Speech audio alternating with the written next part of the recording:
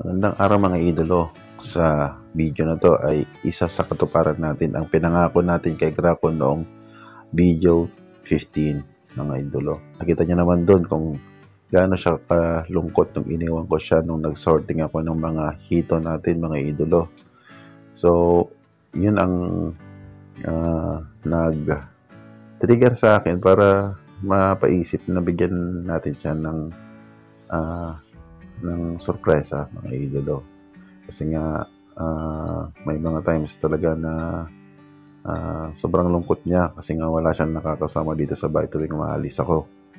At uh, hindi naman siya ma, ma laging nasasamahan ng mga ano, mga aso na nandito kasi nga eh siyempre uh, hindi naman mm, kagaya sila na domesticated na. So, si Grao kasi ay madaling uh, makaintindi, malambing, at higit ay malaro at makulit. Uh, kaya nga, ano, kaya nga minsan, mas maraming yung, or, yung mga mga times na napakalungkot ng mga idolo. Kaya, ayun, uh, naisip ko na uh, bigyan siya ng sorpresa, idolo. Kasi nga, hindi nga na nga siya iba sa amin. So, yan, yung mga times na na bibidyoan ko siya na malungkot siya mga idolo. May hindi minsan hindi siya uh, nagre-respond sa mga laro na na minsan gustong gusto niya kasi mag-fetch. Kung minsan na kung minsan naman ay mag magkikipaglaro siya pero saglitan lang mga idolo. So yung mga ganyang bagay na ano uh, palatandaan na medyo umiedad na si Graco na may mga pangangailangan na siya na bukod sa pagwo-walk at paglalaro o pagbibigay ng ng laruan niya ay may mga ano na may mga kailangan na siyang ano na na maibigay sa kanya mga idolo para maging active siya ulit although active naman siya mga idolo So, ayan nga.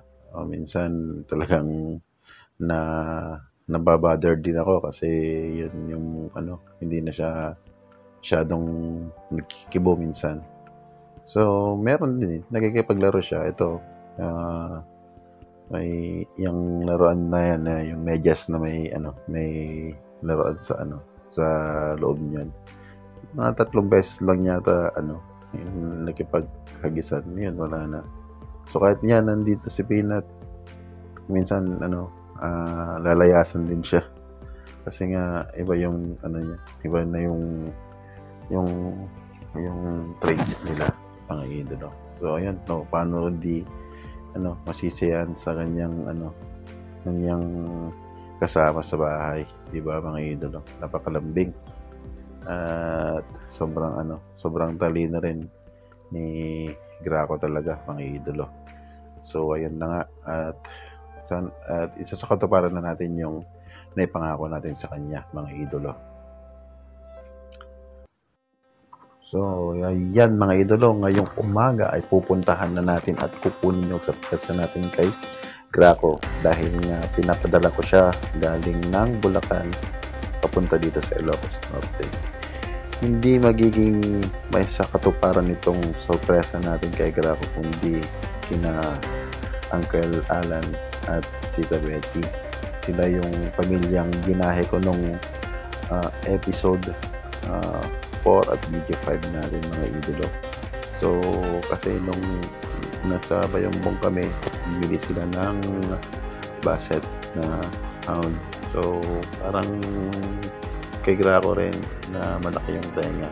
Pero ano lang, uh, may mga uh, difference lang. Pero ang, ang sabi niya ni Tita Bella dahil bata pa si Bella, eh tumingin na lang kami ng ano ng beagle din para mas maganda rin yung lahi niya mga idolo.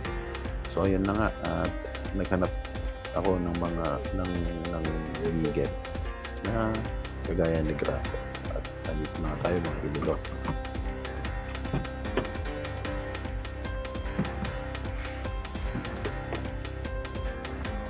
Dito na tayo. Ayun na siya. Hello! Hmm, isang harap hello bebe hello!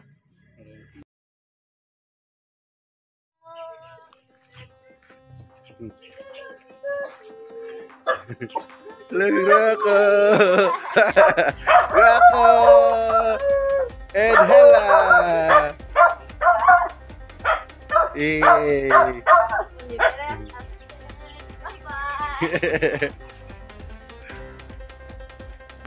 so ayan mga idolo, napakasaya nagrako na nagkita na sila ni Hera mga idolo.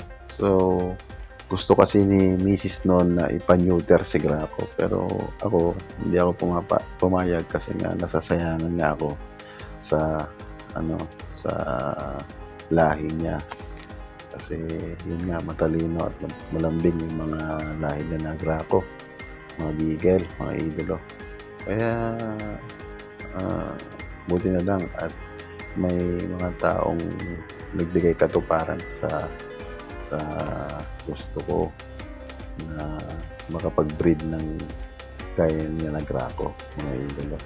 Kasi napaka ah, magandang alaga at stress reliever yung mga ganitong ano klase ng ano aso, mga idolo. Kaya ah, alam kong ano makakayanan namin na maparami sila mga idolo at salamat sa nagtiwala yung taga Bulacan na ah, ayaw niya sana pero pinilit ko mga idolo na ibigay na lang sa atin para ah, may makasama si Graco. At nangako naman tayong aalagaan natin siya kaya ng pag-aalaga nila.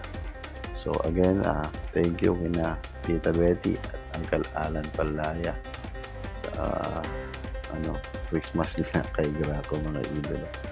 Ayan at salamat sa pagsubaybay ninyo sa aking mga video mga idolo at patuloy sana ninyo magsuporta at God bless po sa ating lahat.